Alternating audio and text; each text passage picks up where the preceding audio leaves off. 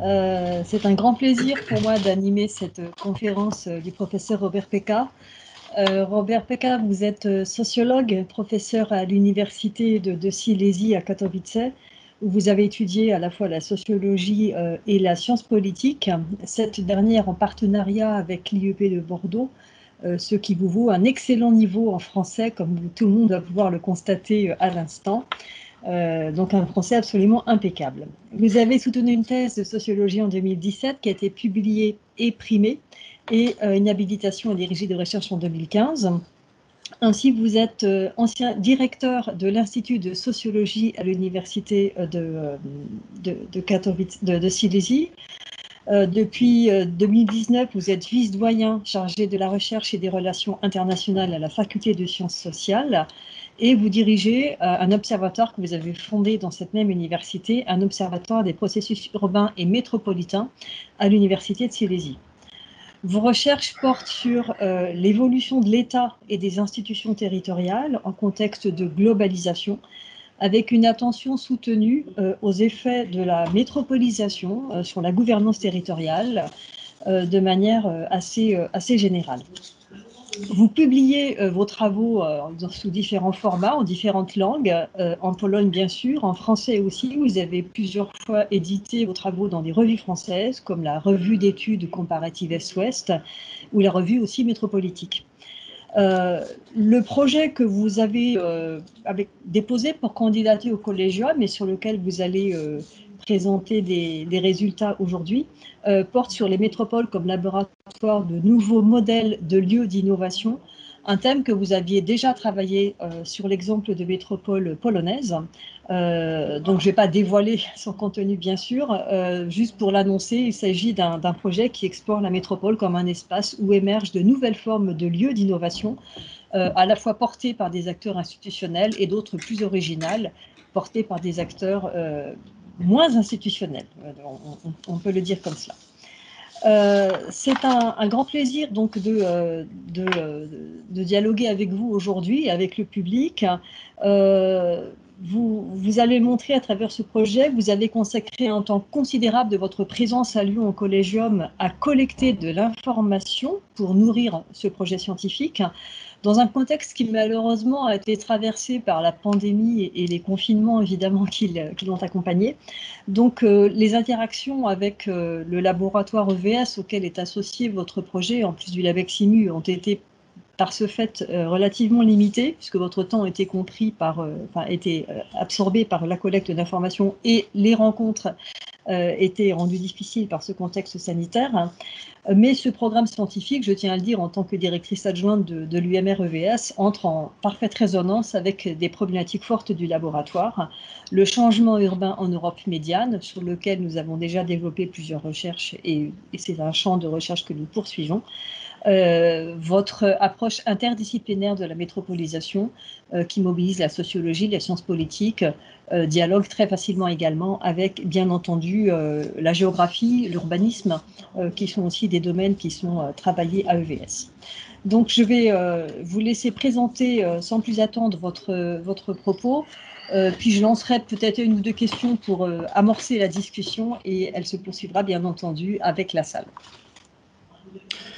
Merci beaucoup pour, euh, merci beaucoup pour cette euh, introduction. Donc, euh, de mon côté, je voudrais avant tout remercier en fait Collegium Lyon Institut d'études avancées, mais aussi les directions de laboratoire EVS et l'ABEX IMU pour l'accueil qui m'a été offert en fait à Lyon. Donc, je voudrais particulièrement remercier Lydia Coudroy de Lille pour son appui et avant tout, je remercie Emmanuel Timonier-Rouzet pour son accompagnement et, le conseil. Donc, je vais lancer maintenant ma présentation. Je vais essayer de partager mon écran. J'espère que vous m'entendez et tout se passe, tout se passe bien pour, pour le moment. Euh, tout va bien. Très bien. Donc, j'essaie de, partager l'écran. Est-ce que ça marche? C'est bon? Vous, voyez? Donc, oui. Donc voilà, depuis, euh, donc je, commence en nouveau par mes intérêts scientifiques. Donc euh, effectivement, depuis plus que dix ans, mes intérêts scientifiques gravitent autour de la métropolisation Et, de la métropole, je cherchais, je cherche toujours à comprendre le processus d'adoption des États et de leur organisation territoriale au phénomène métropolitain, analysant l'émergence des différentes structures de, de gestion et de la gouvernance dans les espaces métropolitains, comme les EPCI, notamment en France, principalement dans les trois pays, à savoir la France, la Pologne et le Canada. Néanmoins, j'ai rapidement constaté que pour euh, comprendre la métropole, pour avoir un regard complet en fait, sur ce qui est la métropole, le regard institutionnel ne suffit pas. Donc, j'ai élargi mon regard et mon, fait, champ de recherche pour se pencher sur le processus de métropolisation au sens propre du terme et l'analyser à travers aussi sa dynamique des relations sociales extrêmement complexe, sa densité relationnelle qui d'une côté, en fait, présente un potentiel énorme en termes de la créativité et d'innovation, mais de l'autre fait émerger aussi des effets inattendus, non recherchés. Donc, je fais ici référence à la sociologie de Raymond Boudon et à la pensée complexe d'Edgar Morin. Donc, c'est ce regard que j'applique hein, dans mon projet actuel à Lyon. Donc, j'analyse la complexité et la diversité propre à la métropole comme la source d'hybridation de la créativité et des innovations, d'où les titres de mon projet. Le métropole comme laboratoire de nouveaux lieux d'innovation. Euh, j'essaie de changer le diapo, j'espère que ça va marcher. Voilà.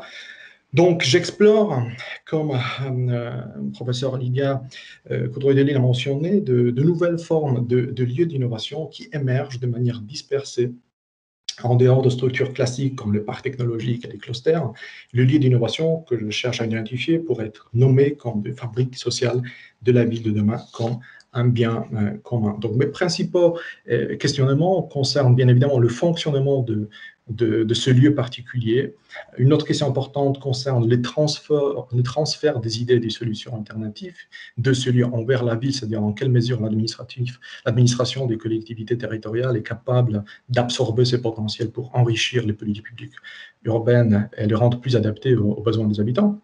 C'est donc aussi une question concernant la politique municipale de lieux d'innovation et les relations entre ce lieu et leur collectif les papillons et les abeilles, en utilisant la métaphore des boulgans, et les agents, les administrations municipales, donc les métropoles, les éléphants et les arbres, en utilisant la même métaphore. Donc, quels sont les scénarios et les risques provenant de ces rencontres? Et puis, l'idée, c'est aussi de tester le modèle de lieu d'innovation, comme l'outil d'analyse, et puis, dans ce contexte actuel aussi, voir en quelle mesure le Covid-19 a impacté le, fonctionnement de ce lieu sur le plan méthodologique, comme vous voyez, mon projet a, des, étapes. Les premières étapes consistent à l'analyse d'écosystèmes d'innovation sociale dans les deux espaces métropolitains, donc la métropole stéphanoise, la métropole lyonnaise, donc un mapping de lieux d'innovation, et là, à la base d'analyse de documents, des entretiens semi-directifs en fait avec des acteurs régionaux, métropolitains, municipaux, pour comprendre le fonctionnement d'écosystèmes, quels sont les acteurs et leur interrelation.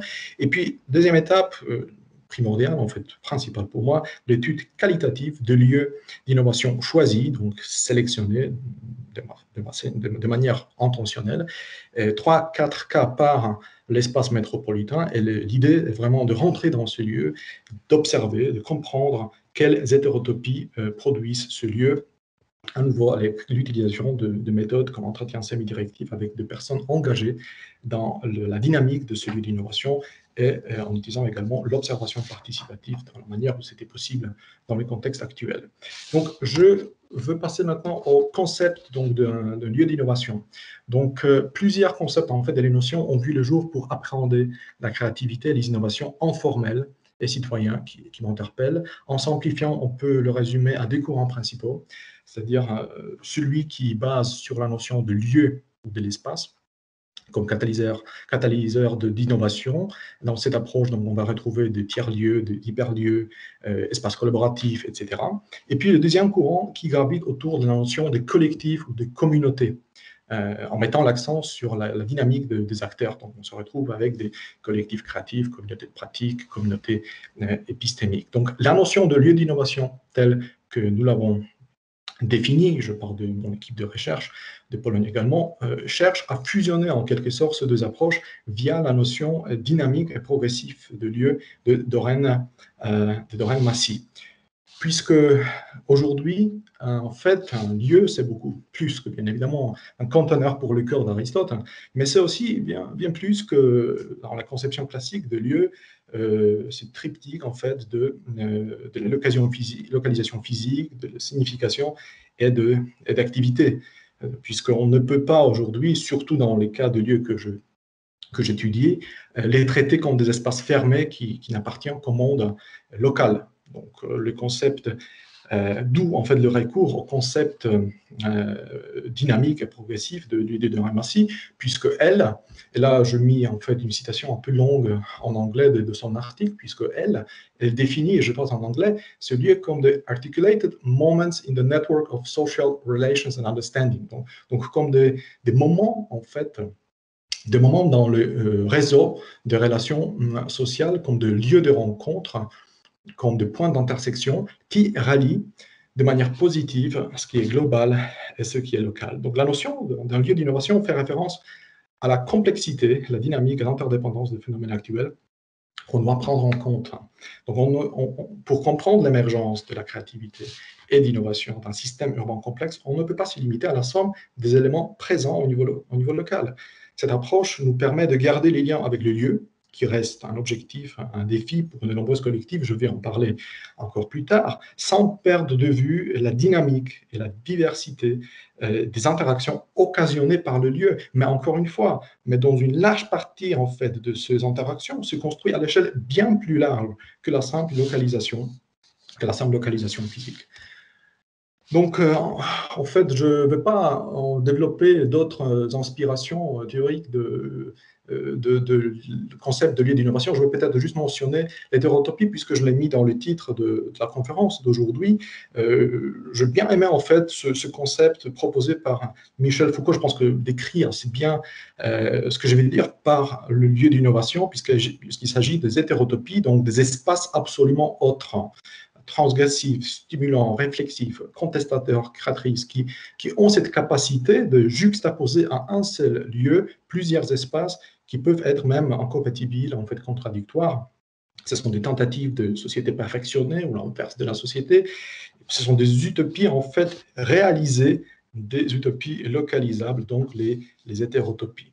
Donc finalement, un lieu d'innovation, pour moi, c'est un lieu qui fait référence à la notion de la métropolisation, car il s'agit d'un lieu interconnecté qui participe au flux à travers le processus de, la métropolisation.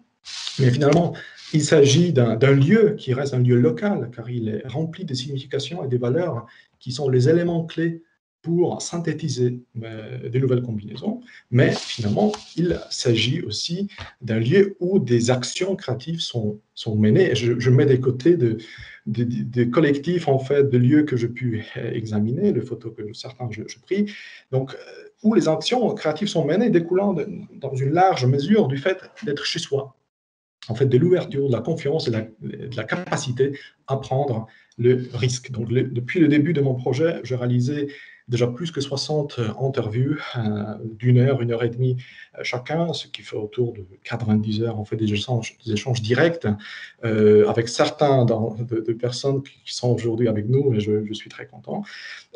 extrêmement intéressant et, enrichissant. Donc, je suis en train de finaliser la deuxième partie de mon projet de recherche. Comme vous voyez, je me concentre sur des lieux moins institutionnalisés, souvent omis dans les cartographies et registres officiels, mais qui se par leur forte dynamique euh, et implication des habitants. Donc, ce sont des endroits qui fonctionnent comme des terrains de jeu où les gens jouent avec les règles de jeu en les changeant, en lançant des défis aux institutions, aux institutions publiques. Donc, comme je dis, je voudrais partager euh, avec vous les premières observations, les premiers repères de la première partie de mon projet de recherche concernant la place de lieu d'innovation dans l'écosystème euh, métropolitain d'innovation sociale. Par contre, pour moi, c'est encore prématuré puisque je suis toujours en train de finir mon projet. Je, les réalise encore des, des, entretiens, des, interviews. Euh, mais je, me suis décidé quand même de, partager avec vous euh, ce premier repère, ces premières observations, le soumettre à la discussion avec vous. C'est ce que je, je présente ici. Peut-être ça devrait faire partie des conclusions, mais je pars de ce constat parce que je pense que ça pose un cadre et donne une perspective pour mes réflexions plus détaillées. Donc, il est possible, hein, mais je souligne les possibles, qu'on est dans une phase initiale d'émergence d'un nouveau paradigme. Euh, pourtant, on n'identifie que de signaux faibles de, de, changement. Donc, suivant mes interlocuteurs, la métropole n'est plus seulement perçue comme une locomotive de croissance économique, elle est aussi la source d'innovation sociale qui émerge de lieux d'innovation ascendants, dispersés sur le territoire métropolitain et en dehors de lieux totems décrétés par les autorités municipales, voire métropolitaines, euh, on se rend compte que la seule proximité physique des acteurs ne crée pas automatiquement d'autres proximités, donc cognitives, sociales, organisationnelles, nécessaires pour hybridation des innovations sociales qui ne se laissent que très rarement en fait, produire, décréter dans des lieux issus des logiques d'attractivité métropolitaine. Donc dans cette nouvelle perspective, la métropole est produite par le à travers des grands projets d'aménagement portés par des institutions publiques, des investisseurs, donc les éléphants et les arbres dont je parlais tout à l'heure, mais aussi par les habitants contributeurs euh, actifs, papillons, les abeilles. Donc, euh, ces acteurs de lieux d'innovation ascendant se mobilisent, jouent avec les règles de, de, jeu pour fabriquer, transformer ensemble la ville. Ils cherchent à retrouver le contrôle sur leur environnement immédiat, où ils produisent et génèrent collectivement de nouveaux communs Il faut souligner encore une fois qu'il s'agit de signaux faibles, voire de, la phase initiale d'un nouveau paradigme, en tant que espèces très délicates et vulnérables, les abeilles et les papillons ont du mal à se faire reconnaître, et malheureusement, ils sont parfois écrasés par des arbres, mangés par des, par des éléphants. Donc je passe à l'écosystème d'innovation euh, sociale. Donc à nouveau, on peut mentionner des approches significatives pour analyser le processus de génération d'innovation et les flux de nouvelles connaissances au sein d'un système euh, d'écosystème en fait, d'innovation. Donc, le premier approche, je dirais, de stratification avec des couches euh, dans l'écosystème euh, comme le top, en fait, upper, ground, le middle ground et underground. Donc, chacune de ces couches intervient dans le processus de création de nouvelles connaissances et permettent leur circulation. Cette approche met en, met en évidence l'importance et le rôle critique de structures de middle ground, donc des structures intermédiaires composées voilà, de lieux d'innovation, des communautés, de leurs projets et des événements qui fonctionnent comme des catalyseurs, comme des déclencheurs de processus de génération d'innovation. Par contre, comme l'approche par couche a été critiquée en raison de sa euh, perspective hiérarchique et verticale, le concept de la scène a vu également le jour, faisant euh, référence aux personnes pratiques et objets qui tournent autour d'un champ particulier. Dans mon projet, je privilégie quand même l'approche des couches, car le problème en cas des innovations sociales urbaines n'est pas l'absence, mais plutôt n'est pas la présence, mais plutôt l'absence de la pénétration de ce lieu par le secteur euh, public. Donc, je passe à première tentative de, décrire en fait l'écosystème d'innovation sociale. Lionel et Stéphanois. Donc, les écosystèmes d'innovation dans ces deux métropoles, euh, suivant mes interlocuteurs, se trouvent en phase initiale de développement et fonctionnent plutôt en marge de l'écosystème d'innovation technologique et commerciale. Des liens et des connexions entre eux sont limités et étroites. D'un côté, il y a un certain nombre de lieux d'innovation institutionnelle générés, euh, en fait, gérés par les collectivités territoriales ou dépendants des collectivités territoriales. Et de l'autre côté, il y a un tissu très riche de lieux et des collectifs résultant des initiatives citoyennes. On observe par contre un déficit des acteurs intermédiaires, donc de middle ground. Ce qui euh, existe sont principalement euh, axés euh, sur les transferts de ces lieux plutôt vers le marché que vers l'administration des collectivités locales. Donc, le degré d'intégration d'écosystèmes d'innovation sociale est faible. C'est pour ça que à, gauche, pardon, à droite en fait de l'écran, euh, vous voyez ce, lieu qui en fait sont potentiellement jouer le rôle de middle, mais n'arrivent pas encore à s'imposer, à être euh, reconnus. Donc, les deux métropoles font des efforts pour intégrer leurs écosystèmes d'innovation sociale. À Saint-Étienne, une biennale internationale du design, événement organisé par Cité du Design, joue un rôle prépondérant dans l'approchement de lieux d'innovation sociale d'en bas avec la surface institutionnelle. Il faut également souligner l'existence d'un design manager métropolitain, bien qu'il s'agisse d'une seule personne. Une certaine ouverture est également observée des côtés d'EPAS, qui s'engagent de plus en plus dans l'expérimentation euh, préfigurant des projets euh, d'aménagement. À la métropole de Grand Lyon, il y a aussi une personne qui est censée de maintenir des liens avec les acteurs d'innovation sociale. Il y a une autre à Aderly. La nouvelle dynamique s'est créée autour de la candidature réussie de Lyon au label, de la métropole de Lyon au label Territoire Franche Impact, qui aboutit à la création d'une fondation de soutien à l'innovation sociale. Néanmoins, la pandémie de Covid-19 a mis en stand-by cette initiative et il est difficile de dire euh, dans quelle mesure cette fondation pourra contribuer à l'intégration de l'écosystème d'innovation sociale, de la métropole lyonnaise, assurant une réelle connexion et le flux entre la métropole et ce lieu d'innovation ascendant. Et la croissance, à nouveau, suivant mes interlocuteurs, euh, la croissance et l'attractivité restent quand même le jeu prédominant dans le deux métropoles, mais elles ne peuvent plus ignorer en fait la question de l'innovation euh, sociale. Donc, il a fallu créer une approche spécifique aux innovations sociales qui les rendant en fait compatibles avec le modèle de développement métropolitain fondé sur la croissance et l'attractivité. Donc, ces deux axes que je pu observer, d'abord, c'est la stratégie de la ville intelligente, c'est la flèche euh, violet, donc la stratégie Smart City. Cité prévoit le design de nouvelles solutions numériques pour, la ville par recours données ouvertes, donc les laboratoires euh, urbains de Tuba ou d'Erasmus pourraient être excellents exemples de lieux d'innovation descendants hautement institutionnalisés, euh, dans certains cas orientés vers l'intérieur de l'institution. Donc, les habitants contributeurs ne sont pas à l'origine d'innovation, mais ils sont impliqués dans le test ou la validation de solutions. L'économie sociale et solidaire constitue en fait la, deuxième porte d'entrée par laquelle les innovations sociales pénètrent les couloirs des administrations métropolitaines, c'est la flèche jaune, à l'aide notamment des incubateurs d'entreprises sociales comme Ronald Pierre, Alter en Cube. Donc les projets d'innovation sociale deviennent, je cite, euh, plus sérieux euh, aux agents publics étant dotés d'un modèle économique en fait classique, fiable. Donc le lieu où les collectifs d'innovation transformés en entreprises sociales devient légitime pour la machine administrative métropolitaine, en créant d'ailleurs de nouveaux emplois difficilement euh, délocalisables. Donc les innovations sociales sont donc avant tout traitées comme des innovations d'affaires et des innovations technologiques suivant le modèle de croissance et d'attractivité euh, métropolitaine. Une, une des démarches qui illustre bien cette thèse est la stratégie d'attraction des entreprises d'économie sociale et solidaire des territoires, euh, en fait, sur les territoires métropolitains de l'extérieur, ce qui présente en fait une reproduction directe de la stratégie envers les investisseurs. Donc, le potentiel créatif de lieux d'innovation sociale et de leurs collectifs reste dans une large mesure inexploré et sous-utilisé. Seulement une partie de cette énergie et potentiel est canalisée, en fait redirigée vers le secteur privé et marchand, par contre, il s'agit donc d'innovation orientée marché. Pourtant, les institutions municipales ne sont pas prêtes à absorber euh, des solutions innovantes issues de lieux et des collectifs d'innovation ascendants pour changer, renouveler les politiques, euh, les politiques publiques, municipales, métropolitaines.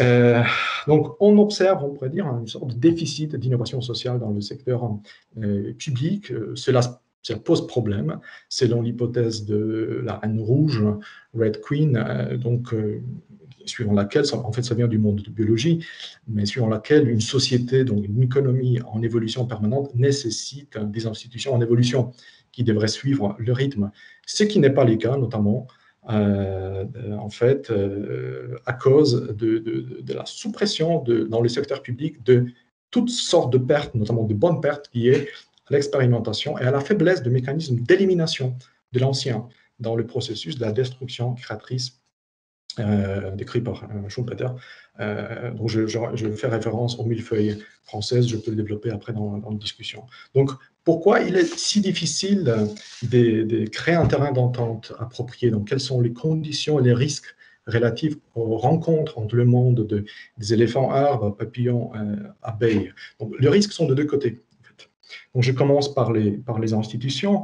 Je vais vite, puisque le temps passe rapidement. Donc, c'est le risque politique électoral en cas d'échec. En cas de bonne perte, l'échec, la perte de fonds publics peut affecter le capital politique et l'image des dirigeants politiques locaux. Ensuite, on peut mentionner l'incapacité symbolique et technique euh, en fait, à absorber l'innovation en formel. On aurait parlé de la perte de perte de contrôle, la perte du chaos la culture administrative dans le champ institutionnel métropolitain, l'accusation de partialité, des injustices dans le choix des acteurs avec lesquels on, travaille, et puis aussi euh, la privatisation de l'action euh, publique. Néanmoins, en fait, cherchant à comprendre l'écosystème d'innovation sociale et leur performance, il faut également prendre en compte les, différences de contexte de régime d'innovation. Là, je fais référence aux propos de en fait, Hélène Morteau et Ralph Sur, qui, en fait, qui décrivent des régimes d'innovation différentes qui en fait, peuvent observer à travers la distinction entre le centre-périphérie au niveau géographique, cognitif et structurel. Pour résumer, à l'intérieur du centre, du noyau, plus des combinaisons sont, possibles, mais l'innovation est plus orientée vers le marché, enfermée en fait dans une plus grande euh, homogénéité, conformisme. Dans le périphérie, il y a moins de combinaisons disponibles, mais il y a plus de place pour divergence avec des niches de comportement déviants.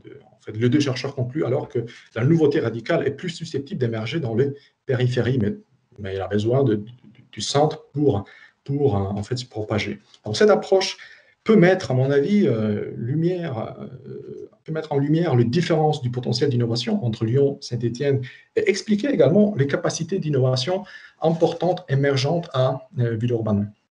Donc, euh, je commence par Lyon. Donc, il existe une volonté politique relativement récente de soutenir l'innovation sociale dans la métropole lyonnaise, comme Gérard Collomb était plutôt, à nouveau, d'après mes interlocuteurs, était plutôt réticent à l'égard de lieux et des communautés alternatives. Avec l'arrivée de David euh, Kimmelfeld au poste de président de la métropole, l'innovation sociale, les innovations sociales ont été intégrées dans la stratégie en fait, d'attractivité via le label Territoire Frank Impact. Néanmoins, la pression du marché immobilier présente toujours, des institutions présentent toujours un obstacle critique au développement de lieux d'innovation et de communautés d'innovation et l'occupation temporaire ne présente qu'une solution limitée et partielle suivant mes, interlocuteurs.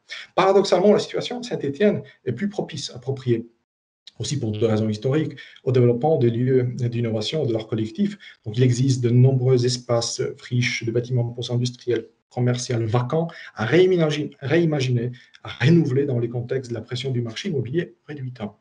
Euh, néanmoins, les ambitions métropolitaines visant l'image de la métropole moderne, basée sur le design des nouvelles technologies, empêchent de profiter pleinement du potentiel du secteur social et d'innovation informelle qui peut être associé à la période de crise. Dans les cas de Saint-Étienne, une centralité cognitive et structurelle modérée s'accompagne d'une périphérie géographique déterminée par la, distance de, Lyon. Et je voulais souligner la situation euh, particulière de Villeurbanne, euh, où le développement dynamique de l'innovation sociale radicale peut s'expliquer d'une part par la moindre pression de structure du marché et des institutions, donc euh, périphérie structurelle, ce qui favorise l'expérimentation qui va de pair avec la proximité géographique de Lyon et de ses ressources en fait cognitives, donc centralité géographique et cognitive. Donc en fait, un nombre important de lieux d'innovation que je puis identifier ont été finalement localisés à Villeurbanne euh, ont, ou ont été déplacés euh, depuis, euh, depuis Lyon. Donc, bien qu'il existe certains risques pour les institutions municipales d'aller chercher l'innovation formelle, le risque de côté de, de lieux d'innovation de leur collectif relatif au maintien des relations proches avec les institutions est beaucoup plus élevé. Ces collectifs, en fait, restent vulnérables, et instables, car ils présentent de petits univers distants, en fait, de microcosmes générant des enclaves de mondes alternatifs. Néanmoins, pour éviter d'être juste des niches exclusives de mondes alternatifs, mais plutôt générer des innovations sociales ouvertes qui débordent sur la ville, ces lieux doivent entretenir des relations avec le monde extérieur, notamment avec les institutions municipales. Donc, ils doivent balancer en quelque sorte entre les deux réalités différentes ainsi, les rencontres de ces deux mondes euh, créent des tensions permanentes et le risque important d'isomorphisme lorsque ce collectif d'innovation sont formatés, sont en fait détournés par les, institutions. Donc, en réalisant mes, interviews, en visitant des lieux, je, je pu en fait constater, euh, distinguer plusieurs scénarios euh, possibles, donc annihilation, destruction, incorporation, multiplication, développement par bourgeonnement, je ne sais pas si cette notion euh, convient, l'autonomie, l'indépendance. Donc, en essayant de, présenter ces différents scénarios, je pourrais faire référence à l'exemple de Mixer dans les cadres de quartier créatif euh, de manufacture à Saint-Étienne. Donc, d'une part, il faut souligner le, courage et la démarche expérimentale de la métropole Saint-Étienne. Ils ont délégué les processus, en fait, une partie des processus de création de futurs mixeurs euh, en fait, euh, et ils ont transféré des fonds vers deux collectifs créatifs euh, de l'époque, à savoir Comptoir numérique pour l'innovation numérique et Culture et coopération dans, un domaine d'activité culturelle et créative.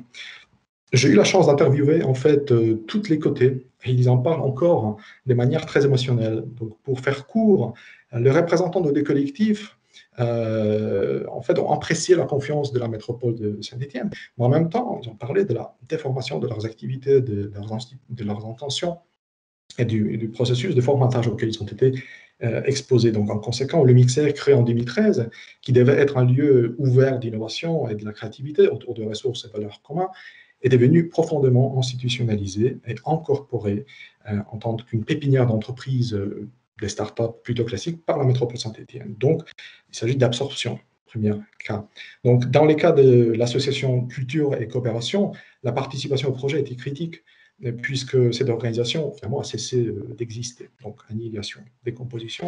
Le comptoir numérique a quitté Mixer après son absorption par la métropole, mais il fait toujours partie de, de quartier créatif de, de la manufacture et il a donné naissance à plusieurs autres projets comme OpenScope, donc coopérative entrepreneuriale, ou Open Factory, puisqu'il gère aujourd'hui, euh, Zoomacom gère aujourd'hui un Fab Lab. Donc c'est un exemple de division, de multiplication, développement par bourgeonnement, décrit lors d'une dernière conférence à laquelle j'ai participé par Patrick Coendet, euh, le Canadien, dans les cas de Cominter, en, en, Ontario, où les collectifs créatifs ont surmonté le processus d'institutionnalisation d'un projet initial en générant des externalités savoir de nouveaux lieux et collectifs d'innovation. Dans d'autres cas, certains, dans les cas de certains lieux et les collectifs, euh, ils ont réussi en fait à conserver leur autonomie en développant des modèles d'organisation et de gouvernance spécifiques. C'est le cas notamment de la mine à Villeurbanne, par exemple, qui ont développé l'adoptocratie, accompagné d'un système de convention de réciprocité signé avec des partenaires institutionnels euh, extérieurs. Donc, deux questions cruciales ont émergé euh, dans mes discussions et, les entretiens. D'abord, c'est le degré d'institutionnalisation approprié de ce collectif, et puis le rôle de lieu physique comme une ressource critique. Donc, je commence par l'institutionnalisation. Et donc, j'ai noté un large éventail des opinions. Certains ont déclaré que le processus d'institutionnalisation tue la créativité et les innovations. D'autres personnes étaient moins, je dirais, sévères avec les, institutions. Ils ont dit simplement qu'on ne peut pas opposer les lieux d'innovation et les institutions simplement parce que les institutions ne sont pas pour faire des innovations. Dans ces cas-là, il faut déplacer, il faut faire sortir un petit peu euh, une partie de la logique institutionnelle en dehors du cadre institutionnel pour expérimenter avec. L'école urbaine euh, de Lyon, ou même l'EPAS et leur projet dans le quartier Saint-Roch peut être un, exemple. Et puis, troisième groupe a déclaré que l'institutionnalisation est la dernière étape du développement des collectifs d'innovation et de lieux, qui devraient fusionner, fondre dans, dans l'administration. Donc, pour résumer, à certains niveaux d'institutionnalisation est nécessaire pour éviter le risque d'isomorphisme. C'est parce que les collectifs au stade initial de développement et moins organisés sont beaucoup plus exposés à la distorsion comme les, lieux comme les innovations sociales se matérialisent au moment de leur mise en œuvre, le jeu avec les institutions, la moins, et les règles est nécessaire. Donc, dès lors, le lieu d'innovation doivent se caractériser par le maintien de ce qu'on pourrait appeler de chaos organisé, qui renvoie à l'équilibre entre la liberté de création, d'expérimentation et la capacité d'entreprendre des actions communes et dialoguer avec les institutions. Le lieu, euh, donc, de nombreuses réponses ont été enregistrées euh, à nouveau, mais le lieu reste quand même une référence fondamentale. Il peut être considéré comme une ressource critique hein, dans la dimension historique, la source de signification de l'histoire, tradition, matérielle, ça peut être une source en fait d'autonomie, de, ressources financières, et d'organisation, puisque le lieu peut niveler, euh, aplatir en fait l'organisation et les relations hiérarchiques aux soins de, collectifs. Mais en même temps, le lieu contribue également au processus d'institutionnalisation et demande l'absorption, en fait, l'apparition d'un modèle organisationnel et économique. Des il faut payer quand même le, loyer. Par contre, ce qui est important, c'est que le lieu doit garantir, ce qui a été souligné pour plusieurs interlocuteurs, le lieu devrait garantir un, un confort encore fort euh, fertile, qui soit associé ou non en fait à une localisation physique permanente. Et là, je pourrais donner l'exemple de, de locomotives en fait qui présente pour moi un exemple très intéressant d'un collectif d'innovation situé dans les quartiers de Guillotière, pour lequel le lieu était à la source d'innovation sociale en termes de modèle de gouvernance.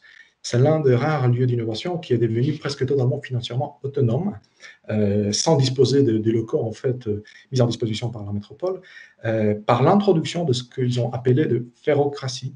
Donc, le lieu peut être alors à la fois une menace, participer au processus d'institutionnalisation, mais en même temps, il peut être un moyen fondamental, une source d'autonomie et dynamique, dynamique collective.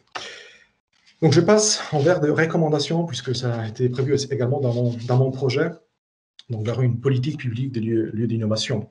Donc euh, on voit bien que l'équilibre entre euh, la proximité et la distance entre les institutions municipales et les lieux d'innovation représente un enjeu pour les collectifs créatifs, mais c'est aussi la question d'une politique urbaine appropriée de lieux d'innovation. Donc, les deux métropoles ne disposent pas de politique intégrée en fait de lieux d'innovation pour le moment. L'institution municipale devrait créer des conditions appropriées pour le développement de, lieux d'innovation, comme des terrains de jeu extérieurs, réduisant le risque d'expérimentation dans le secteur public.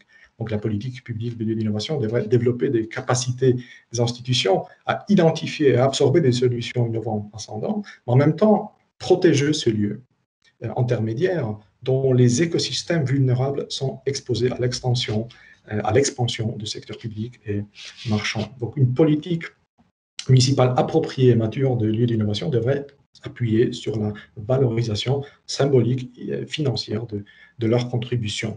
Par contre, un engagement financier organisationnel trop fort de la municipalité pourrait être dysfonctionnel en raison de processus d'isomorphisme mentionnés précédemment. Donc le soutien financier euh, devrait alors être complémentaire, additionnel, laissant la place au développement en fait, de nouveaux modèles euh, économiques. Mais en premier lieu, le financement public devait en fait euh, avoir un caractère ouvert, au-delà de simples achats, délégations, sous-traitance en fait de, euh, services publics avec un cahier de charges très détaillé. ces subventions publiques ouvertes peuvent prendre la forme financière ou naturelle, notamment la mise en disposition de, bâtiments euh, donc, euh, en nouveau un exemple, euh, c'est le, collectif de la Miette qui a déménagé d'ailleurs de Lyon à Villeurbanne. En fait, la municipalité leur a mis en disposition gratuitement un bâtiment de 800 mètres carrés pour qu'ils poursuivent leur travail dans le quartier à travers différentes activités culturelles, sportives, sociales, valorisant la mixité et l'inclusion sociale des populations vulnérables et défavorisées. Ils ont déjà généré des solutions en fait innovantes comme des tapis vibrants, qui permet aux personnes handicapées de participer à des événements culturels, des bandes mobiles pour des personnes aveugles, les aidant à circuler lors de, lors de événements euh, culturels. Donc, une euh, collaboration saine et équilibrée des lieux d'innovation et des municipalités exige la reconnaissance de la valorisation de leur travail, aussi non rémunéré, y compris des externalités non économiques euh, difficilement monétarisées, à monétariser. Euh, liées à la création de, valeurs sociales, donc des liens sociaux, la confiance, des espaces et lieux régénérés, en fait, réinventés. Bien entendu, le problème est l'expression de ces externalités non économiques, en fait, en unités de conversion qui pourraient être prises en compte par la comptabilité des, collectivités locales. Dans les cas des collectifs fond plein, euh, plusieurs années de travail acharné, d'excellents résultats insuffisamment reconnus et valorisés par le secteur, public, accompagné d'une incertitude et de précarité de ce membre, se sont transformés en frustration et en épuisement du, collectif. Donc à la fin, puisqu'il me reste encore quelques minutes euh, de mon intervention, je voudrais mettre en avant le travail euh, d'un autre collectif d'innovation, rue de Développement Durable à Saint-Étienne, qui a contribué au profond changement du récit et la régénération de Cré-des-Rocs, un quartier situé à proximité immédiate du centre-ville à Saint-Étienne, qui a fait aussi euh, évoluer l'approche, je dirais, de la part des institutions. Donc, le, membre de ce collectif, à un moment donné, ont décidé de, prendre l'initiative d'accompagner le processus de régénération de ce quartier en défendant les habitants restants euh, et de contribuer à la révalorisation du, lieu en le dotant d'un nouveau récit donc, les étapes euh, de cette intervention étaient suivantes. Donc, d'abord, euh, ils ont créé avec les habitants plusieurs jardins partagés, des espaces publics éphémères. Ils ont d'ailleurs contribué à la création de, première AMAP à, Saint-Étienne. Euh, aujourd'hui, je pense que sur toute la, le département, il y en a quelques dizaines. Et puis, de ce projet a émergé un autre projet de la ferme au quartier que vous sans doute connaissez. Euh, ils ont réouvert et réactivé le rez-de-chaussée commercial vacant du quartier euh, en y installant des activités alternatives. Ils ont acheté collectivement le premier local dans une formule très innovante qui sert encore comme, modèle. En total, je pense qu'ils ont racheté autour d'une dizaine de locaux où, ils ont installé autour d'une quarantaine de structures. Et puis, ils ont attiré, en fait, cette dynamique a attiré également d'autres projets, a favorisé l'émergence d'autres projets. On peut notamment mentionner la coopérative Castor de Crédit Rock, donc un projet d'habitat partagé et passif qui transforme le récit de lieux euh, dégradés en quelque sorte en éco-quartier. Euh, Aujourd'hui, tout ce projet qui gravite en fait autour des quartiers de Crédit Rock se transforme en une nouvelle structure fédératrice, fabrique de la, de la transition. Donc, le quartier Crédit Rock, qui était appelé comme Bronx, comme un endroit dangereux, j'ai même lu comparaison contre trou noir, en fait, en quelques années, euh, grâce à ces actions de rue de durable et de toutes ces structures qui ont pu trouver sa place grâce à leur démarche dans, ce quartier, euh, s'est transformé en fait par de micro-projets euh, un lieu en fait approprié pour des innovations sociales, pour de micro-projets, pour de nouveaux, nouveaux modèles de, de vie, de, de, nouveaux métiers. Donc le collectif a généré un changement profond que certains structures euh, publiques, euh, municipales, euh, n'étaient pas en mesure de faire parce qu'ils n'ont pas d'outils, n'ont pas de capacité nécessaire en fait, même s'ils disposent des fois des budgets beaucoup, beaucoup plus importants. Mais dans les cas de, en fait, collectifs de rue de durable, finalement, j'ai l'impression qu'ils ont été reconnus par le secteur public parce qu'aujourd'hui, ils travaillent main en main avec l'EPAS, donc l'établissement public d'aménagement de, Saint-Étienne, euh, sur les quartiers qui est distancé de 10 km en fait, de Crédit Rock à Saint-Roch, où ils partagent avec l'institution un lieu commun dans, les quartiers. Euh, ce qui montre quand même un changement euh, d'approche. Vous vous souvenez, je parlais de ce déplacement de logique institutionnelle en dehors de l'institution.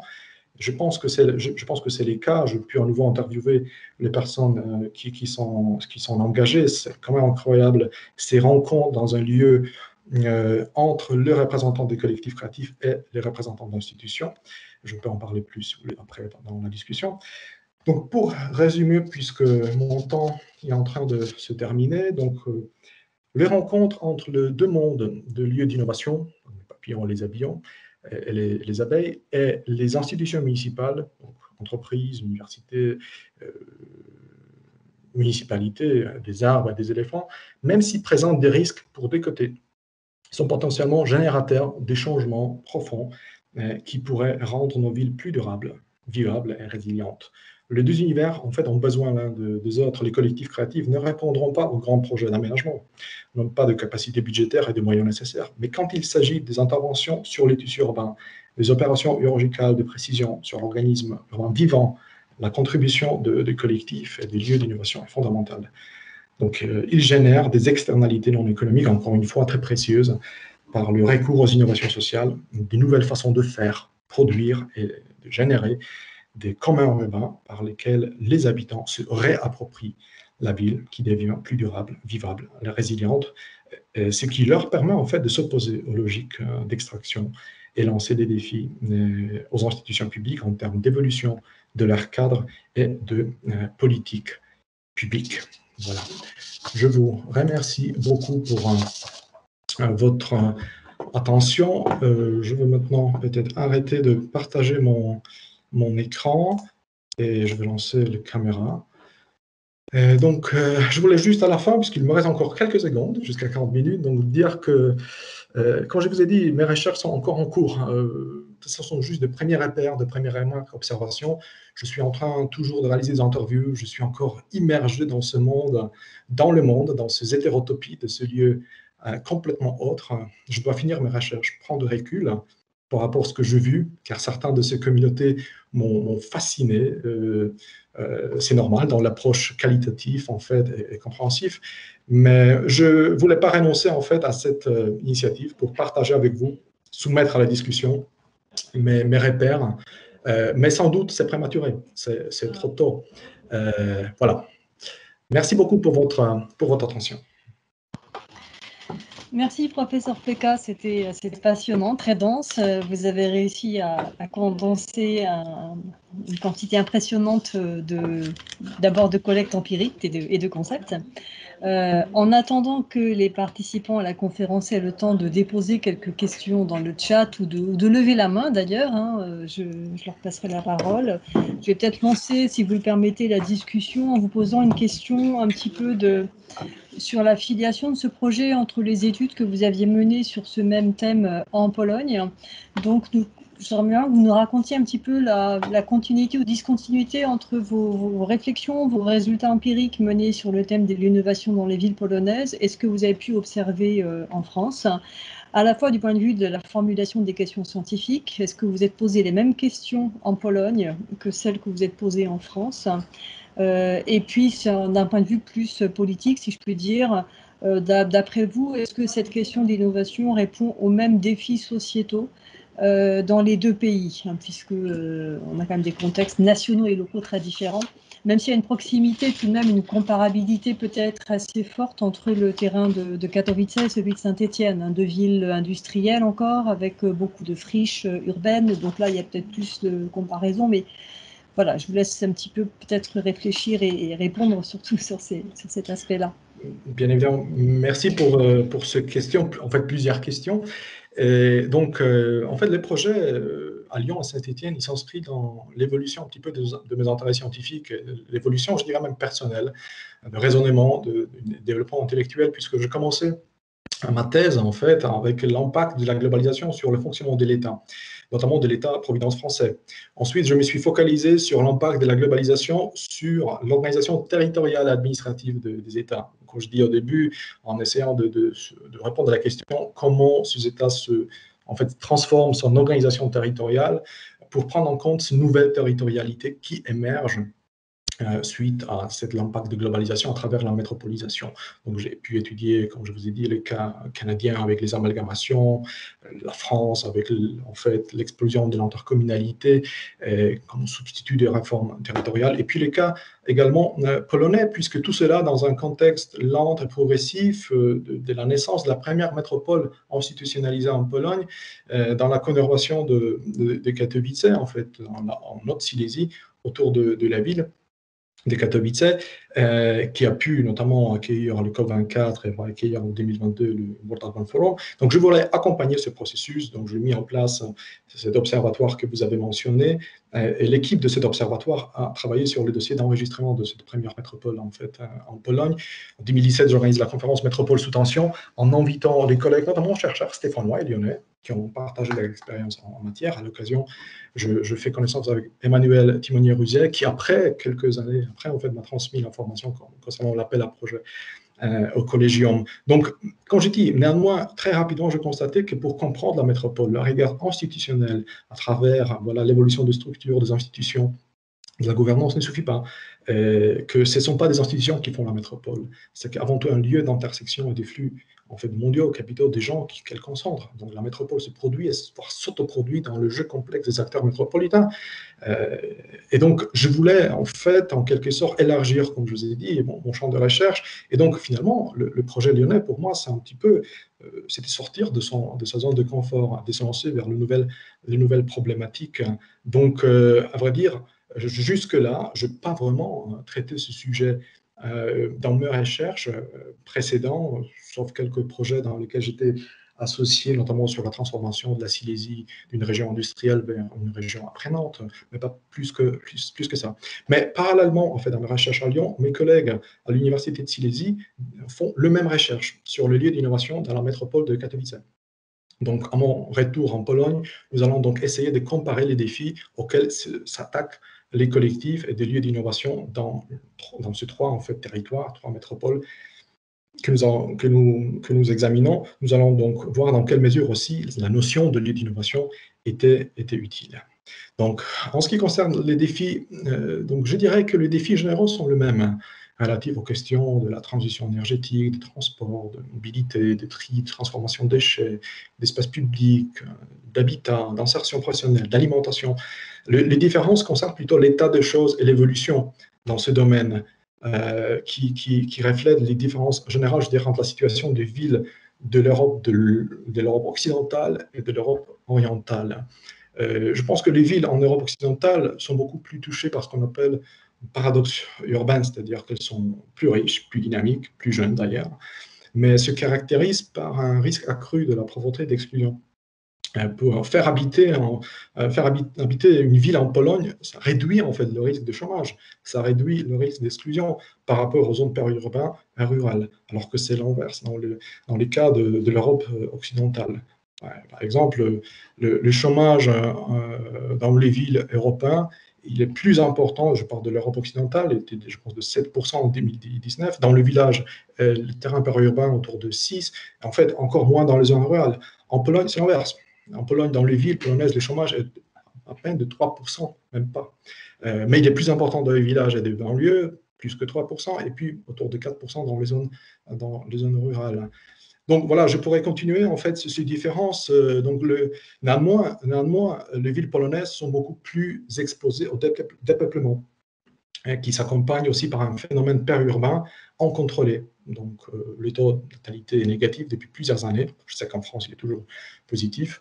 L'immigration, en fait, euh, de l'Ukraine n'arrive pas à combler ce déficit démographique et les villes polonaises vieillissent plus, plus, rapidement.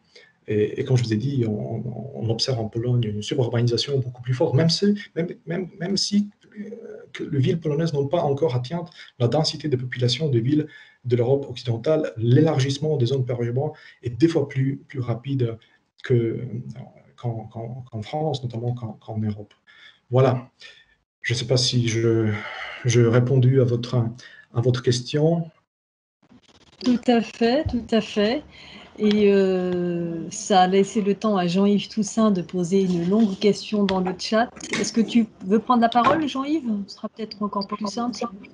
Je veux bien, je m'excuse des trois fautes ou quatre qui traînent dans, le texte un peu rapidement écrit.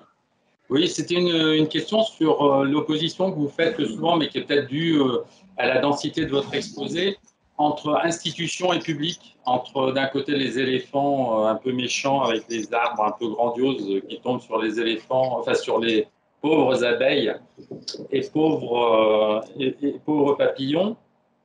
Et moi, je me souviens des lectures que j'avais beaucoup aimées de John Dewey, qui dit à quoi servent les institutions, notamment les institutions publiques euh, comme moyen de protéger, en quelque sorte, c'est le rôle du fonctionnaire tel qu'il expose, de, protéger justement les publics euh, faibles des contrats des plus forts. Et je trouve que ce rôle des institutions est important, sachant qu'en plus, c'est la, conclusion de ma, de ma question, que dans les, quand les papillons et, et, et, abeilles proposent un certain nombre de projets, il y a des projets qui peuvent être en contradiction et il peut y avoir quelques abeilles et quelques papillons qui se prennent pour des éléphants et qui imposent des, des rapports de force. Et là, qui arbitre dans ce cas-là? Si les institutions sont si mauvaises qu'elles n'ont plus de légitimité. Euh, bon. Désolé pour la question. Non, non, non, En fait, c'est important de. C'est vrai que peut-être euh, c'était difficile de condenser tout ça dans, dans, 40 minutes, ce que je, ce que je fais, j'ai pu observer. Donc, si euh, ma présentation a laissé l'image des mauvaises institutions et des mauvaises arbres et éléphants, euh, c'était pas du tout ma, ma, volonté. En fait, l'idée de départ, c'était que on a besoin de deux, en fait. Euh, c'est-à-dire, je ne pense pas que les abeilles et les, papillons pourraient à un moment donné prendre la place des institutions. Non, je ne pense, pas en tout cas. Mais dans un monde aussi dynamique et complexe, euh, leur flexibilité, le, en fait, cette facilité de créer ces terrains de jeu leur permet de se lancer vers les, je dirais, vers des, expérimentations, vers les espaces que l'institution, dans sa inertie, ne serait jamais en fait euh, capable de le faire. Donc, donc l'idée, c'était simplement de dire que, à mon avis, euh, en fait, j'aimerais bien qu'il serait possible de, de rallier ce deux mondes. Et ma question principale, c'était dans quelle mesure euh, ces, ces, deux mondes, en fait, serait capable de communiquer, en fait, et de trier, sans doute, il faut trier ces initiatives qui, émergent de, ce lieu. Euh, il est impossible de prendre en compte tout, de financer tous les, projets, mais déjà, il faut le repérer, il faut les identifier, il faut dialoguer, il faut créer un espace en fait, de dialogue local avec ces abeilles et les, les papillons qui existent. Euh, alors, ce que j'ai aperçu euh, en discutant avec certains représentants, notamment de, des institutions, notamment de métropole, que euh, certains n'étaient même pas, ne savaient même pas de l'existence en fait de ces structures, de, propositions qui émergent de, ce lieu. Donc déjà, je pense que l'idée, c'est d'essayer d'approcher ce demande. Et mon, interrogation, c'était quels sont les freins, quels sont les obstacles euh, pour, que cet approchement était possible. moi, je dirais que je ne me place pas de ceux qui trouvent que, euh, je regarde vraiment parce que je me souviens encore de nos échanges, que l'institution est condamnée complètement. Je, n'y crois pas. Je pense que euh, je, pense que quand même ce dialogue est, possible, mais ça demande quand même un changement euh, d'approche des côtés des institutions. D'où je pense que cette idée de, faire sortir un petit peu l'institution de son cadre pour expérimenter, après revenir l'institution pour la, en quelque sorte, euh, changer par l'intérieur. Je pense que c'est intéressant. C'est pour ça que je voulais mentionner ces projets d'EPAS en Saint-Étienne, euh, en fait, les projets à, à, 100, à 100, euh, rock, en fait, où pour la première fois, en fait, l'institution comme EPAS, donc c'est l'État quand même, est sorti de son cadre et a investi un lieu d'innovation dans le quartier avec le même lieu, avec les représentants des collectifs créatifs. Donc, la première approche, euh, on m'avait dit ça des de, côtés de pas, c'était oh bon, on va faire une maison de projet. Alors que non, non, ils ont dit le collectif, non, non, c'est pas possible, ça, doit être un lieu ouvert, en fait, où on va discuter avec les gens, le soir, même la nuit, en fait, quand il vient. Donc, je pense que euh, donc je voulais pas opposer ce deux, mondes. Si je donnais cette image, euh, désolé. déjà, créer un espace de dialogue pour repérer ces initiatives, pour dialoguer avec ces initiatives, ça serait, ça serait déjà bien. Oui, simplement, juste pour prolonger, si tu permets, euh, Lydia, je pensais à ce qui se passe par exemple à la guillotière, vous avez exposé, mais dans les, entre l'institution et les gens qui, je me un peu du collectif, il y a un troisième collectif qui est en train de se former en réaction très forte, pas forcément avec des idées que, que critiquer en tout cas, et euh, qui est en train aujourd'hui de se mobiliser très fortement. il y a les réseaux sociaux, etc. Et qui, met, euh, qui, qui, qui, renvoie à des oppositions à l'intérieur entre les abeilles et les. Euh, au sein des publics. Et là, s'il n'y a pas d'arbitrage, bah, comment, on peut imaginer que ça puisse se passer? Et l'institution là doit jouer un rôle à la fois pacificateur et, légitimement plutôt certaines institutions que d'autres. C'est ça. Est-ce que c'est dans ce sens-là que vous voyez, vous, le, rôle des institutions quand vous parlez du fait qu'elles peuvent euh, participer à des innovations? S'il y a fatalement des innovations, bah, je vois, euh, euh, comment s'appelle, Françoise Pacassegui, là, qui dit, mais il y a de temps en temps des, innovations qui sont pas des innovations sociales, qui ne sont pas forcément très intéressantes. Oui, oui, oui, tout à fait. Donc, euh, je pense que certains, certains de ce lieux d'innovation vont rester, peut-être devraient même rester euh, comme des niches un petit peu d'innovation et vont jamais se transformer en innovation sociétale. Resteront des innovations sociales à l'échelle d'une communauté, d'un quartier, tout à fait. Euh, donc, oui, oui, dans la guillotière, j'ai pu effectivement repérer un certain nombre des acteurs que je nommerais de underground, je même, euh, en fait, Chaperché, en fait, j'ai pu croiser ce, ce lieu, l'espace communal, je pense également, qui, est, qui est à côté. Euh, bon, c'est vrai qu'en même temps, j'avais que 10 mois, donc euh, je me suis dit, je me suis dit, dans mon approche, je n'ai pas d'équipe de recherche, je suis tout seul, j'étais quand même un peu trop courageux en se lançant sur deux métropoles, quatre lieux par métropole et tout ça. Je me suis dit déjà, je dis tout de suite, je me suis dit tout de suite, je ne serais pas capable de creuser le underground en fait. Donc, euh, où on trouverait également, sans doute, de, ce lieu alternatif, euh, dont les alternatives proposées, euh, en fait, seraient pas, on les nommerait pas des abeilles et des papillons, mais plutôt des moustiques, par exemple, hein, d'autres bêtes plutôt méchants. Mais à vrai dire, j'ai dû en fait me concentrer sur une de ces couches et je ciblais plutôt des, collectifs qui, qui, contribuerait et qui avait déjà, ou au moins tenté de dialoguer avec les institutions. Mais, mais, sans doute, vous avez raison. Euh, on m'avait déjà posé ces questions. Mais qu'est-ce qui va se passer avec ce collectif, en fait, qui pourrait créer des sortes de polices, de quartiers, qui, qui auraient développé des idées, bon, euh, populistes, nationalistes, etc., euh, etc. Tout à fait, tout à fait. Mais bon, je répondrai de manière un peu diplomatique que c'était hors, hors hors, euh, je dirais, mon radar, vu, le, vu le, le, temps qui m'a été donné et les moyens dont je disposais. Mais sans doute, hein, vous avez raison, que le rôle d'institution est quand même important. Euh, mais le souci que, que j'ai, que je vois, que peut-être que ça va changer avec toutes ces initiatives que j'énumérais, notamment sur Saint-Étienne et, à Lyon, euh, que, que, beaucoup de ces collectifs sont, passent inaperçus. Surtout quand elles ne se transforment pas à, des, par exemple, des entreprises sociales, c'est-à-dire qui, n'ont pas d'employés. Par exemple, euh, en, travaillant sur le mapping, on m'avait soumis plusieurs mappings qui ont été réalisés des côtés de la métropole, des côtés de l'agence, l'organisme, etc. Et finalement, souvent des critères, c'était euh, est-ce qu'il y a des, employés? Est-ce qu'il y, a, est-ce qu'il y, a, est-ce qu'il y a un statut d'entreprise sociale et solidaire? Si on n'a pas, en fait, ça sortait du, du cadre, comme si ça n'existe pas du tout. Alors, on va peut-être passer la parole maintenant à Claire qui a levé la main il y a très longtemps déjà. Claire Brosseau. Oui, je voulais rebondir euh, sur les aspects euh, euh, institutionnels, mais pas que. D'abord, moi, je, me réjouis que, de ce travail permet de recenser la dynamique des communs urbains sur la métropole.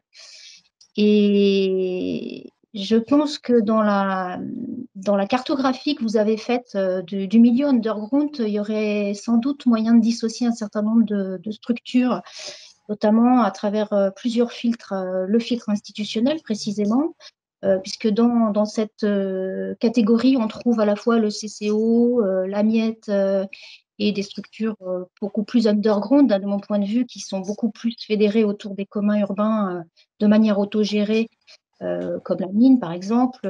Et donc, euh, euh, il y, y, a sans doute moyen de dissocier ces structures-là de par leurs enjeux, leurs pratiques. Tout à fait. ne parle pas tout à fait de la même chose. Et puis aussi, de, vous, vous l'avez évoqué, la question des, des, occupations temporaires, elle est fondamentale. Euh, et la, du coup, elle soulève euh, ce que sous-entendait Jean-Yves dans son intervention, la question du droit à la ville. Euh, il y, a un fil de, de, commun oppositionnel, comme pour paraphraser Pascal Nicolas Lostrat, qui travaillait sur ces sujets-là. Il y a un fil tirer autour de, de, ces, de, ce, de cette problématique du droit à la ville, où on va trouver bah, des structures qui vont avoir une revendication euh, pour euh, l'espace, l'appropriation de l'espace. Et puis, il y a un autre fil euh, que l'on va trouver du côté d'une remise en cause de, de éthique de l'innovation, vous l'avez évoqué aussi, hein, et des pratiques d'innovation.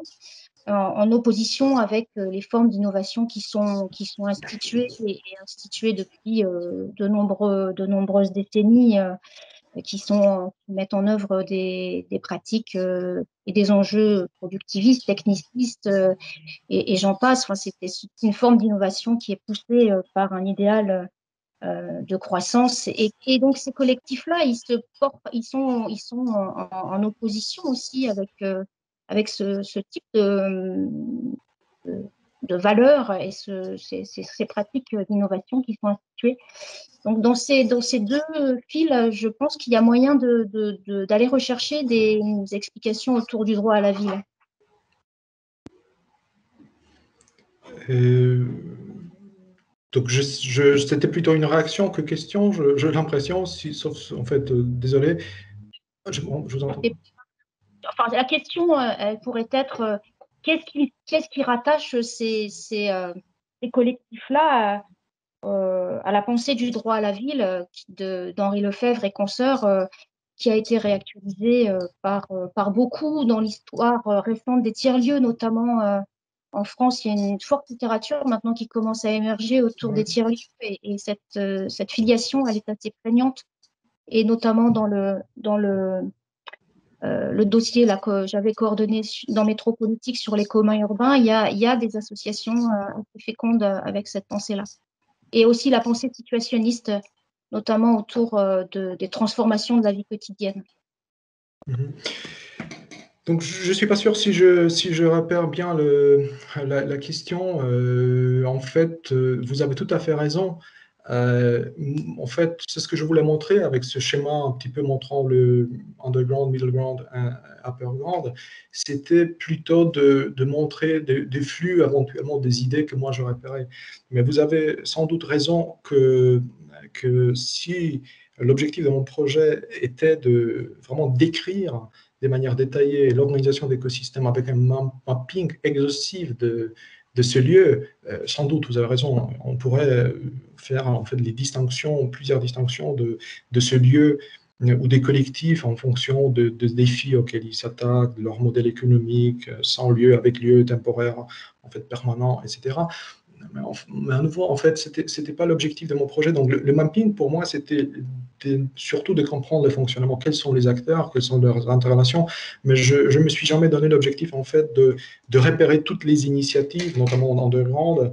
Euh, D'abord parce que je n'avais pas de moyens, et puis je, je, dirais, je parachutais ici un Polonais, en fait, venu des Katowice, qui veut s'attaquer à ce, lieu un petit peu euh, des fois un peu fermé.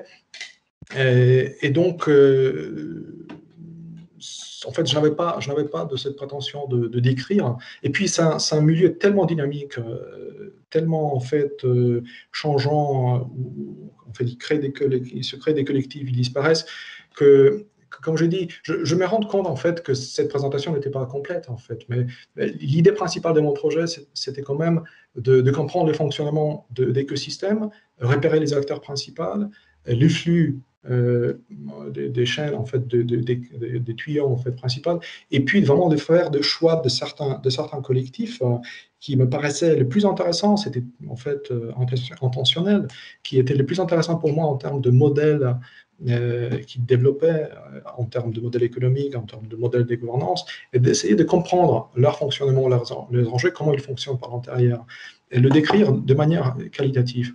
Donc, euh, sans doute, c'est une lecture partielle de, la réalité de ces écosystèmes et de, la richesse de, ces acteurs. Euh, mais vous, avez tout à fait raison, en fait, euh, que ça rentre tout à fait dans la question de la droit, droit à la ville. Ce que moi j'observe, c'est que tous ces collectifs-là, ils réclament ce droit, c'est-à-dire cette reprise de contrôle sur leur environnement euh, proche, de pouvoir, en, fait, souvent profiter de cette de cette en fait, trou temporaire entre les grands projets d'aménagement euh, la réalité quotidienne des habitants de certains quartiers qui finalement se retrouvent avec des, avec des, avec des chantiers, avec des, barrages, etc. Et par rapport à, l'occupation temporaire, euh, je dirais simplement que euh, d'un côté, ça, également, ça ouvre des possibilités extraordinaires ce qui j'essaie de montrer en, prenant l'exemple notamment de l'école urbaine de, Lyon. J'ai pu visiter les halles des faubourgs hein, au moment où ce collectif quittait en fait cet endroit.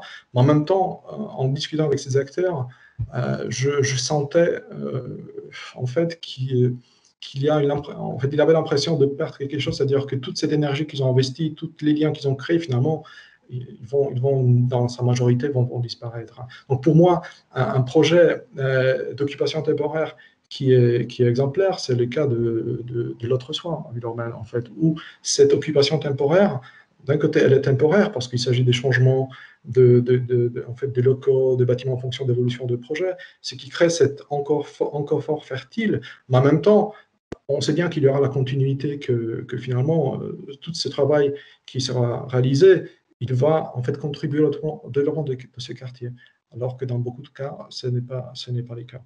Euh, juste récemment, je suis tombé sur un, autre hall juste à côté de campus en fait d'ENS, euh, dans le quartier donc, de Gerlande. Et là, j'ai vu que finalement, euh, la métropole s'est décidée de conserver cette halle. C'est-à-dire qu'autour, il y a, je pense que ça s'appelle Art Girondin, Girondin, je ne suis pas sûr, mais en tout cas, euh, autour, il y a des chantiers, chantiers en fait, de, bâtiments, de, nouveaux bureaux, de, logements. Et au milieu, il y a un, hall qui apparemment sera conservé. Donc, c'est travail que ce collectif qui s'y s'installe sera en fait, on va contribuer euh, à la vie, je l'espère, de, ce quartier moderne qui se crée, qui se crée autour, alors que ce n'est pas le cas de beaucoup de, lieux, euh, en fait, des occupations temporaires. Voilà, c'est ce que je pouvais. Merci beaucoup. Et puis, merci déjà d'être là. Euh, je me souviens de nos, échanges. Alors, y a-t-il d'autres questions dans l'assistance la, dans Nous avons déjà dépassé le temps. Tu nous donnes jusqu'à quand, euh, Anne-Cécile, qui, qui, est la gardienne du temps ce soir? On, a encore une minute, si on veut. Voilà. Oula, une minute. Éventuellement, une, Gilles une petite question. Euh, alors, euh, elle est, elle est, double. Je me demandais si, en fin de compte, euh, l'observation que vous avez fait des lieux, et en particulier le contexte que l'on a maintenant, avait amené ces lieux à évoluer. Je vois, moi, je suis beaucoup Tuba. Ils ont, ils ont changé pas mal de modalités, et en particulier, par exemple, sur les meet-up avec la SNCF, ça a complètement changé. On va dire, ils se retrouvent avec plus de 100 personnes autour de la table enfin autour de la table, euh, dans des animations euh, où ils avaient, euh, ils peinaient un petit peu à, on va dire, à amener, à amener une dizaine de personnes dans la salle. Et la deuxième question est plus liée à, quelque chose qui pourrait être en comparatif par rapport à ce que vous connaissez en Pologne. C'était, je vois souvent, en fin de compte, des métropoles qui sont un peu dans le, dans le, on va dire, dans la difficulté à financer, on va dire, des structures, financer de l'innovation parce que quelque part, à un moment, euh, on peut les mettre dans des situations où il y a des marchés publics et euh, elles se confrontent, on va dire, à ces marchés publics. Et je voulais savoir si, euh, comment vous analysez ça et si vraiment vous, y avait une, c'est quelque chose qui est confirmé, que vous confirmez en France ou où je suis, en tant qu'informaticien, complètement à côté de, on va dire, du, questionnement que l'on doit avoir. Donc déjà, la première Première question concernant Tuba. Donc, j'ai eu l'occasion d'ailleurs récemment de, visiter Tuba. On m'avait parlé de, projets qui sont, qui sont développés. Donc, j'espère je, j'espère que vous comprenez pourquoi je pas en fait ciblé Tuba en tant que lieu d'innovation pour, pour, mon, pour, mes recherches, puisque moi, ce que je cherchais avant tout, c'est quand même des, des collectifs qui, qui, ont cette logique d'en bas, alors que Tuba, euh, c'était quand même une initiative portée par, euh, par, la, par la métropole avec des grands groupes quand même, hein, comme euh, Buick, je pense, et en fait l'entreprise de transport public dans la métropole, métropole lyonnaise. Donc, à nouveau, je, en n'intégrant pas Tuba dans, mes recherches, je ne voulais pas dévaloriser ou sous-valoriser l'importance d'innovations qui sont générées autour de données ouvertes. Euh, oui, pardon, c'est vrai que j'ai mal posé ma question. C'était plus sur l'évolution de, des logiques de lieu. J'ai pris cet exemple de Tuba qui n'était pas le bon, effectivement, mais c'était. Euh, c'était euh, aujourd'hui, on s'aperçoit que ces lieux se réinventent. C'est un peu une et, et est-ce que vous avez euh, noté des, des, évolutions qui sont liées ben, à ce contexte hein, qui, euh, qui, qui, nous a obligés à, peut-être nous réunir différemment et peut-être à ah. repenser ces lieux? Ok. Donc, je dirais en général qu'une bonne partie de ce lieu que j'ai pu examiner était très réactif, en fait, en, ce qui concerne la pandémie. Euh, je dirais certains peut-être même plus que, que, le secteur public et que les institutions. Par exemple, à la, la, mine, euh, les collectifs s'est mis très rapidement à la production de masques et à la production de, en fait, de liquides euh, alcooliques. Et, ils ont pu assez rapidement développer le mode de fonctionnement à distance. Euh, bon. Par contre, ça bien évidemment a, a réduit certain nombre de, un certain nombre de dynamiques. Mais, mais ces collectifs étaient en plutôt, je dirais, résilient et adaptif euh, et continuer à se, à se rencontrer euh, grâce à ce nouveau technologie que, dont, nous disposons. Dans quelle mesure ce lieu, dans leur organisation, ont évolué? Je n'ai pas constaté, en fait, je n'ai pas vraiment vu des changements d'organisation à l'intérieur, de structure. C'était plutôt au niveau des processus de communication euh, qu'ils qui, ont changé, en fait, qu'ils ont expérimenté. Et je me souviens mes échanges avec, avec je pense, la mine, que, qui finalement, ils sont beaucoup, en fait, sur, ce, sur cette production, en fait, commune des connaissances et des partages des connaissances, qu'ils ont constaté que, que même si c'est leur corps je dirais, de métier et d'intérêt, qu'il y a encore beaucoup de choses à faire et ça les a poussés en fait à, repenser un peu ce, en fait, cet espace numérique de partage de, connaissances, d'idées communes. Et pour la deuxième question, moi, je pense que, en tout cas, en Pologne, j'ai l'impression que c'est beaucoup plus contraignant. Vous avez raison, en fait. C'est-à-dire que la collectivité territoriale n'est pas du tout libre dans l'octroi, notamment de certains projets. Il faut passer par le marché public et ces structures, finalement, se font très souvent éliminer par des, grands groupes, par des grandes marques comme Ernest Young ou en fait Price, Waterscope, Coopers, Waterhouse, etc.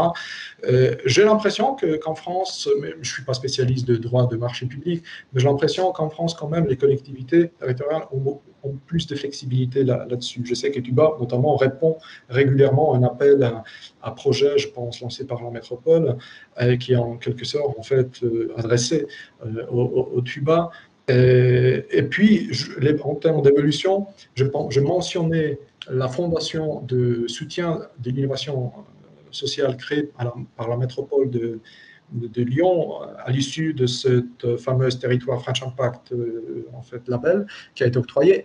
Et en fait, l'idée, c'est vraiment d'avoir un appel à projet permanent, euh, au projet d'innovation sociale, et, je sais, parce que je, je vérifiais juste il y a quelques, jours, que le premier appel à ce projet a été lancé en au mois de, au mois de mai. Euh, donc, j'ai l'impression qu'en France, euh, vous êtes euh, beaucoup plus avancé en termes de, comment dirais-je, de, des cadres formels qui permettent quand même privilégier des acteurs locaux, souvent informels ou moins structurés, pour travailler avec une collectivité beaucoup plus qu'en Pologne, où, le, peut-être ce souci de, voyez, des corruptions euh, qu'on avait avant très important, qui aujourd'hui est quasi invisible, euh, ce, ce, souci d'être accusé d'une corruption fait que finalement tout passe par des, canaux très officiels avec des, avec des modalités très formelles. Et souvent, malheureusement, ce, collectif ne, ne passe pas en fait. Merci beaucoup.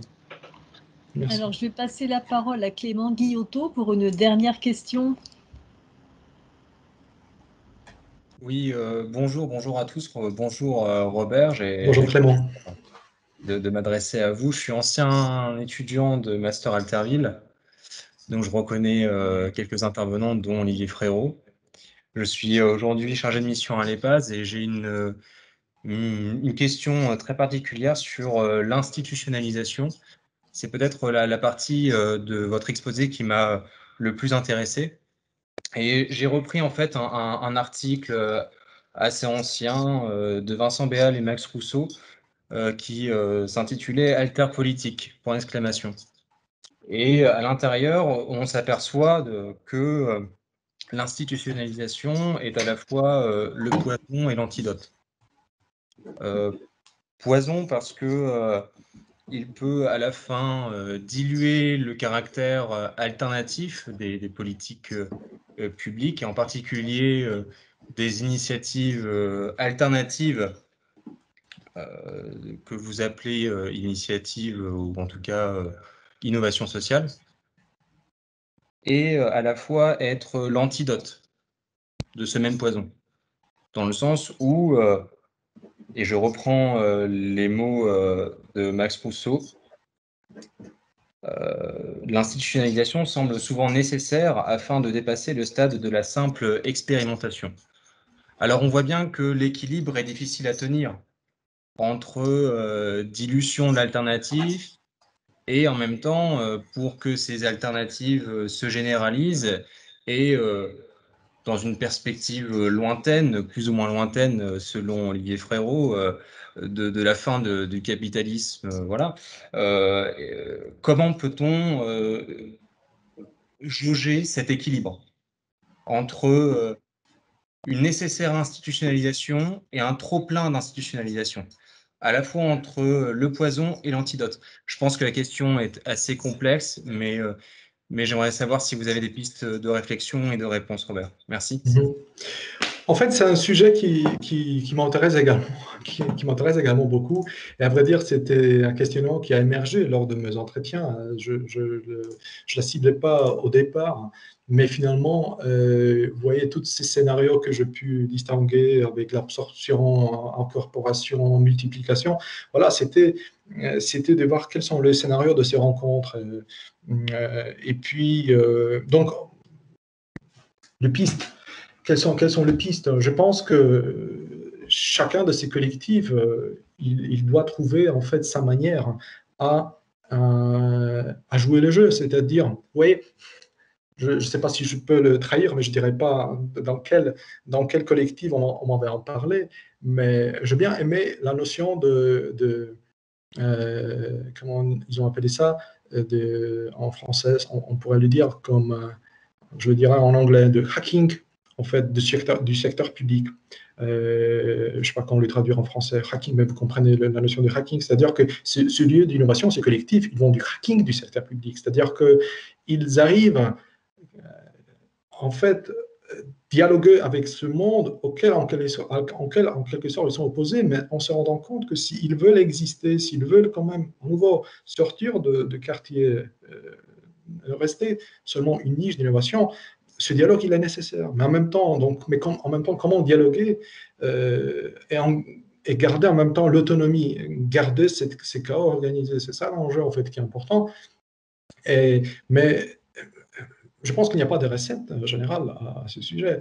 Euh, beaucoup de, ces, de ceux collectifs que je que j'ai pu euh, rencontrer, ils ont développé leur propre en fait manière. Je mentionnais notamment notamment la mine qui, qui, ont parlé de l'adoptocratie, qui, qui, se veut que finalement c'est une structure polymorphique, c'est-à-dire que aux soins de, de collectifs, ils sont capables de, de créer des, subdivisions, des, ex, je dirais, des externalités euh, organisationnelles euh, à troc, en fait, pour à la fois travailler sur des projets très structurés, notamment des projets européens, mais en même temps en créant une sorte d'espace pour protéger ceux, qui, ceux même de, leur collectif qui sont en fait euh, convaincus que le travail avec l'institution n'est pas possible. C'est-à-dire que comme je dis, c'est pour ça que j'aime bien la notion de hétérotopie, parce que l'idée de ce lieu, c'est qu'ils ont cette capacité de juxtaposer à l'intérieur de ces univers deux mondes contradictoires.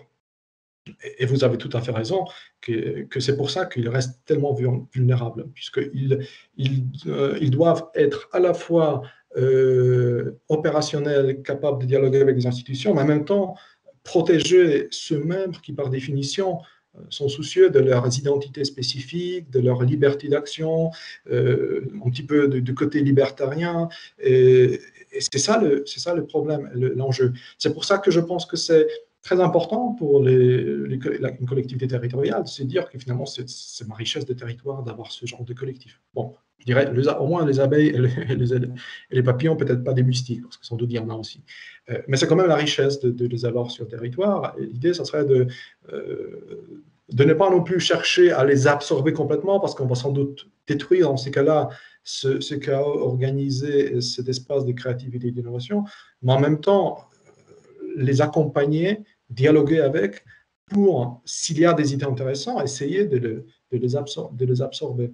Et c'est pour ça que je, voilà, je, mentionnais EPAS, parce que je Bon, le, temps qui m'a été donné à Saint-Étienne-Avion était assez court, mais j'ai l'impression que, que cette structure euh, a vécu une sorte d'évolution dans ces contextes-là, en fait. Et le projet que vous menez aujourd'hui à Centre, notamment, montre que euh, vous reconnaissez les capacités aujourd'hui de, certains de ces collectifs euh, qui, peuvent contribuer, en fait, à votre travail comme, en fait, structure d'aménagement qui représente de l'État. Je me souviens, mes échanges avec les, directeurs des passes, c'est bien en fait l'État.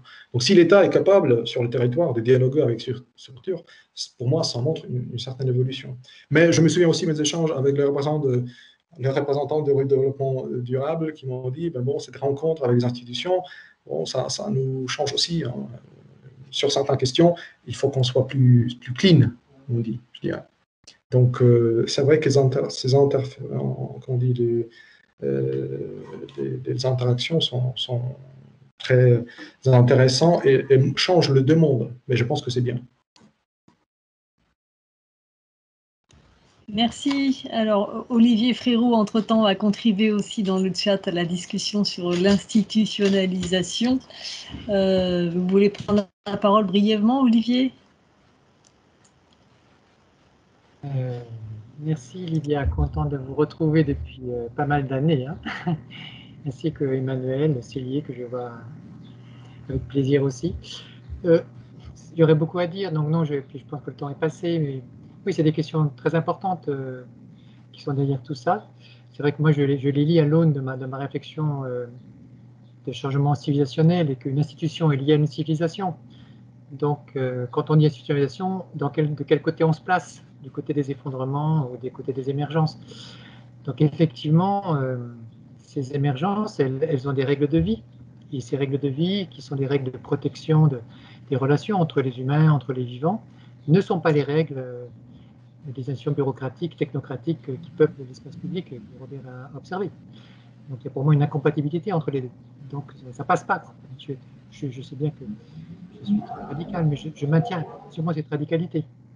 Donc après, il peut y avoir des cas de figure, mais le cas de l'EHPAD est un cas de figure intéressant parce qu'il est vraiment pour moi, c'est vraiment, vraiment une, une très technocratique et bureaucratique, l'EHPAD. Donc après, il peut y avoir des, petites bulles de, de merveille. Hein. Je suis d'accord. Et globalement, euh, je pense que ça ne le fait pas quand même. Mais tant mieux qu'il y a des bulles de merveille et tant mieux s'il y a des protections de, de, certaines initiatives. Et c'est bravo. Mais ça ne peut pas durer très longtemps, je pense. J'arrête là. Merci. Bon, voilà, les échanges pourraient continuer encore très longtemps, puisqu'il y a énormément de choses à dire sur, euh, ces, domaines de l'innovation et de leur place dans la société entre les différents niveaux euh, dont vous nous avez parlé euh, aujourd'hui. donc, je vous remercie beaucoup encore une fois de cette présentation. J'espère que vous allez bien maximiser les quelques jours ou semaines qui vous restent à Lyon avant le retour en Pologne. Et bien sûr, nous comptons sur des poursuites de collaboration scientifique entre Lyon et l'Université de Silésie. Merci encore euh, pour euh, ce temps qui m'a été, donné. J'espère qu'on va continuer à travailler ensemble. Nous avons déjà discuté, nous avons même pu euh, déposer un dossier en fait de financement, en fait répondre à un appel à projet avec IMU notamment et mon université. Donc on attend les résultats de, de présélection de ce projet. Donc peut-être que on aura l'occasion de, travailler encore ensemble. Sinon, moi, j'aimerais bien, on, va dire, pouvoir revenir ici dans 2-3 ans pour suivre l'évolution de ce certain projet, puisque, comme je vous ai dit, pour l'instant, je reste euh, encore très émergé, et je dirais même écharmé par, ce monde, par ce monde à part donc j'aurais hâte en fait vraiment de revenir voir l'autre soir, ce qui devient, ce, qui se passe à Saint-Roch, et, puis voilà. Donc euh, en tout cas, merci beaucoup. On verra ce que le monde nous apportera et j'espère qu'on pourra continuer à travailler ensemble. Merci à, tous en fait d'assister à, cette conférence euh, ça m'a fait beaucoup plaisir de vous, de vous revoir.